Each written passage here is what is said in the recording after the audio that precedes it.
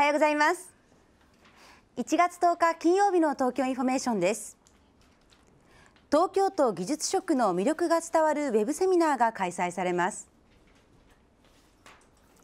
このセミナーは東京都職員採用試験の受験を考えている人や都の技術職に関心のある人を対象に都の魅力を伝えるために実施されます。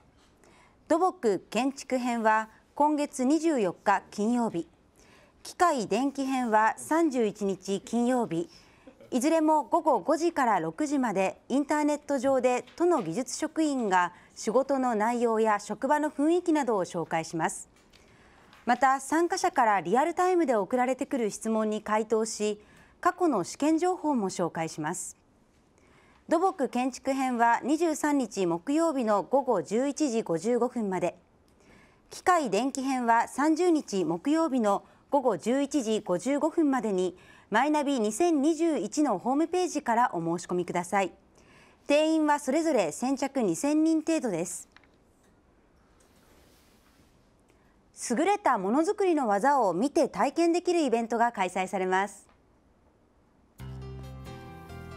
職業訓練校生徒作品展二重匠の技展は都と東京都職業能力開発協会が私たちの生活を支えるものづくりの技能の大切さを知ってもらうとともに人材や技能後継者育成につなげようと開催するものです。都立職業能力開発センターや技能士会などおよそ30の団体が参加して自慢の技と作品を披露します。会場では訓練生や技能士の作品展示と即売が行われ椅子張りや布団製作の実演など日本の優れた匠の技を見ることができます。またハンコの製作や着物の着付けなどの技術を来場者が体験できるコーナーもあります。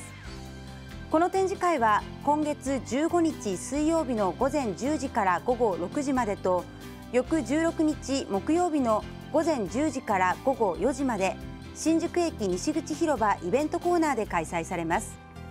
入場は無料ですが体験コーナーは材料費などが必要なものもあります。働く女性のメンタルヘルス講演会の参加者を募集しています。今回は今悩んでいる働く女性に対人関係におけるストレス対処法をテーマにヘルスコミュニケーションのスペシャリストがお話しします。